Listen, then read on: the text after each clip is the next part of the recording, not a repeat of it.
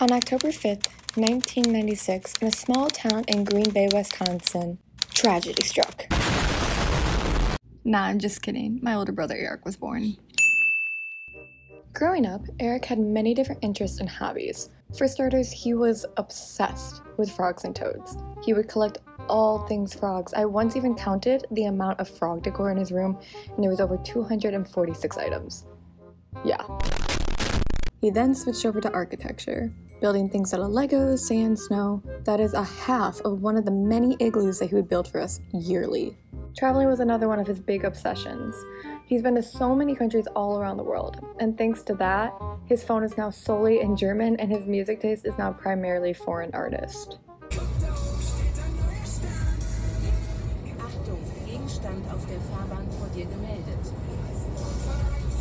However, out of all of his interests and hobbies over the years, the one that stuck around the longest is his love for history and antiquing. technically, we, I already had my first antique, and I, I, uh, we didn't know it. My grandpa passed away. He left a bunch of stuff from his childhood. And as a child, I would go into the basement and I would climb all over uh, dressers and boxes full of antiques. And I didn't even know what I was climbing on. Um, but as I got older, I got smarter and I realized the value of all this um, and the historical value to the family as well. Um, but the first antique I probably legitimately bought was a coin at an antique store. How many antiques do I have in total?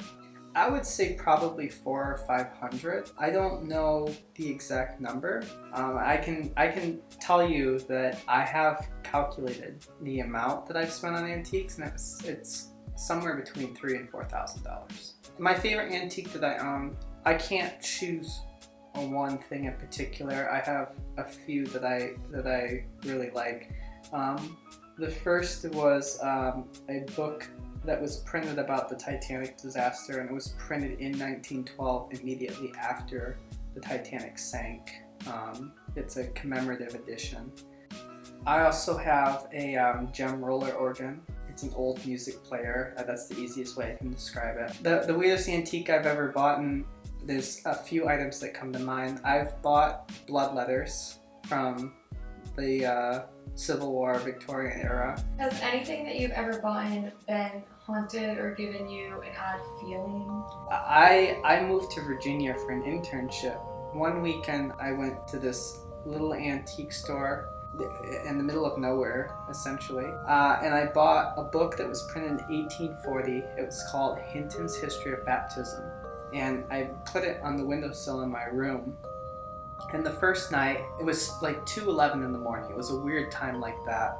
I'm, I'm one of those people that I need to see it to believe it. But I woke up and I was just so paranoid. I felt like I was being watched. It was the worst feeling, and I had to sleep with my light on. I, I was not in that dark room. Sure, okay, it's a fluke thing. Well, the next night, I woke up at exactly the same time with exactly the same feeling, and that second night, I was I was done. I said nope.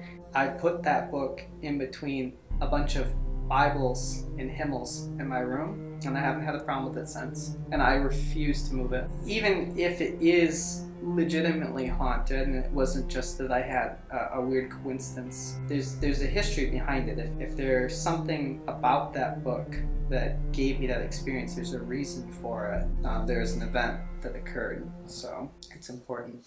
After sharing a few more spooky stories, we decided it was time to take a trip of our own.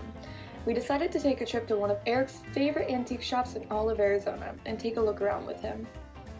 I, I had a period of time where I went for cameras, a period when I went for coins. Um, more recently, it's been books. But as far as time period, I generally won't buy anything that was made after the 1940s. Telling if an antique is authentic, depending on what it is, is very tough. Antique photos or paintings a lot of times you can tell if the painting or the photo is fake based on how the ink bleeds through the paper or if there's a reprint notice in the corner. But it's very difficult. I've made many, many mistakes buying fake antiques. It, it's a learning process. You learn as you go.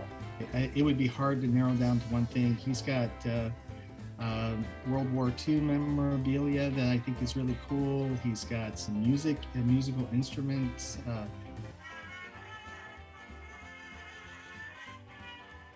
He's got uh, medical devices that he's purchased. He's got tons of old books. So it's really hard to nail, nail it down to one particular item. So I think it started with the coins and he started to see a lot of things, but his grandfather, uh, Jim, had a lot of old farm equipment, uh, little hand tools and things like that. I think that kind of piqued his interest in seeing those types of things in, in the antique shops. You know, I like walking through the antique shops with him. It's always an education. Uh, I like the old cameras. There's a lot of old cameras around. There's old magazines. You know, I hate to say it, but old records. You know, when I was a kid, I'd like to see. So yeah, I, I like looking at a lot of stuff. Um, there's a couple things that I've purchased over time, but uh, this is really Eric's uh, passion when I hold an antique and I think about the history of the antique in my hand, it really depends on the antique. It's very interesting to think about where the things I own have been and what they have done to impact the lives of other people.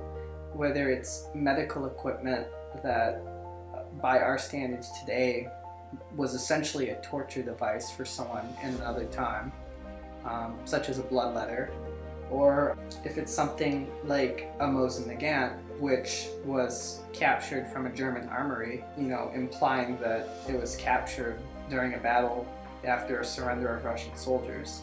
It's chilling almost to think about. And sometimes I wish that we we had the technology to be able to hold on to an item and see where it's been. But at the same time, sometimes I am thankful that we don't have that technology because I think that some of the things that we run into in antique stores and curiosity shops, I, I don't think people would be able to wrap around their heads around the trauma of these items. I think it would be too difficult to own some of them.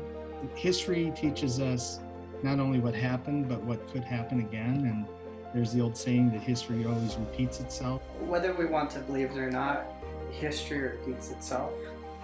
Wherever we were 100 years ago, we will undoubtedly be in that position again someday, whether it's tomorrow or in the millennium.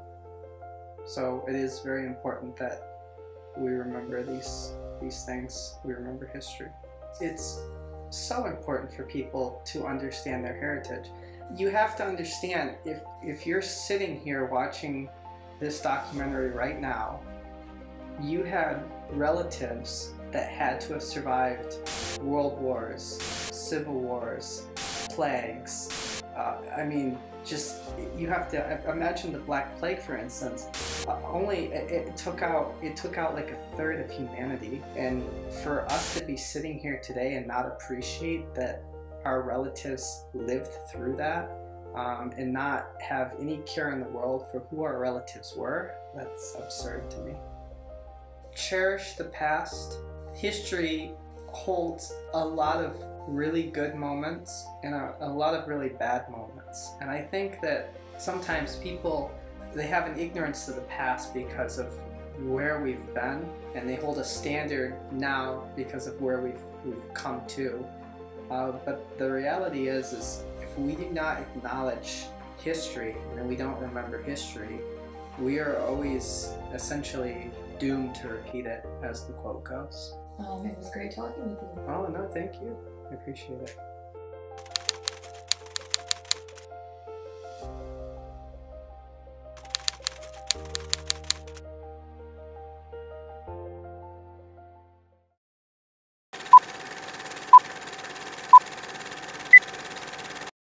Uh, hello. My name is Eric Zelichowski. For some reason, my sister decided to risk it all and put me in this documentary. Okay.